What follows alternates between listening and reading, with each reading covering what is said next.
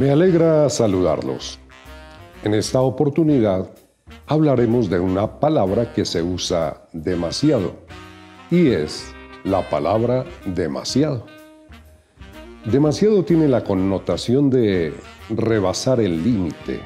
Significa literalmente excesivamente.